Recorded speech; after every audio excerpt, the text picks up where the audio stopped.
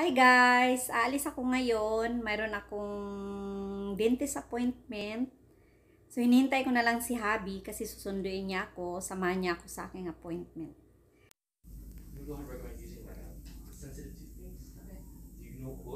Dito na ako ngayon sa dentist guys. Using it. To was a very, very good fit. Um, so real quick, um, I'm gonna talk to you about how you're gonna care for this partial, okay? Okay.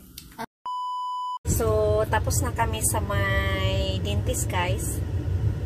So, nilagyan ako ng partial denture dito sa bagang. Kasi mayroon akong missing na ipin dito sa aking bagang. So, dati kasi, ano to, mayroon siyang bridge. Kaso lang, tinanggal, pinatanggal ko. Tapos ngayon, partial denture naman yung nilagay.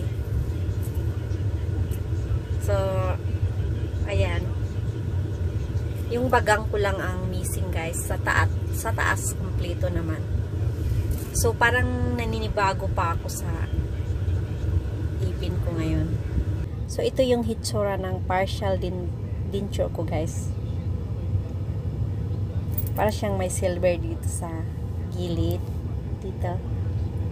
Tapos, maliit lang yung ano, ngipin.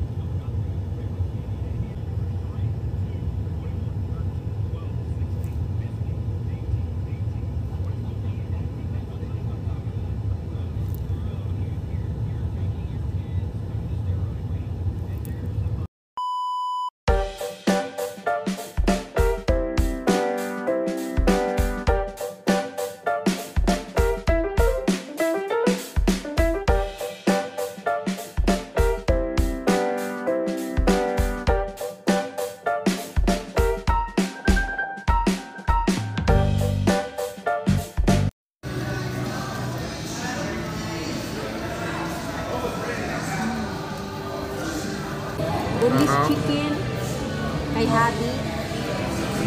Ito naman yung sa akin, bone-in. Gusto ko yung bone-in. Si Habi gusto niya boneless. Is a mukbang.